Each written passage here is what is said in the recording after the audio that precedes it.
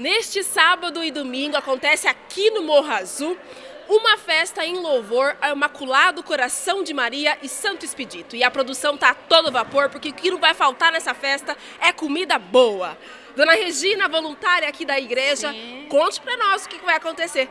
Olha, há 40 anos eu frequento aqui o Imaculado Coração de Maria e as festas aqui são maravilhosas.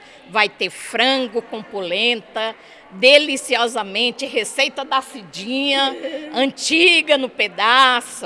É uma das primeiras voluntárias e participantes aqui da nossa comunidade. Coração de Maria e Santo Expedito. Vai ter o frango com polenta, pastel, é, lanche de pernil. de pernil, muitas coisas boas, bebidas, bolo. Venham nos visitar, traga sua família. A festa que é de família é maravilhosa. Todo ano eu estou aqui presente, até Deus quiser, né? Uhum. Enquanto Ele quiser, eu estou aqui participando da festa. Muito maravilhosa mesmo. Muito obrigada. E sem contar que não pode faltar a fé, né? Sim, a fé em, em Santo Expedito. Imaculado Coração de Maria e mais ainda em Deus, né?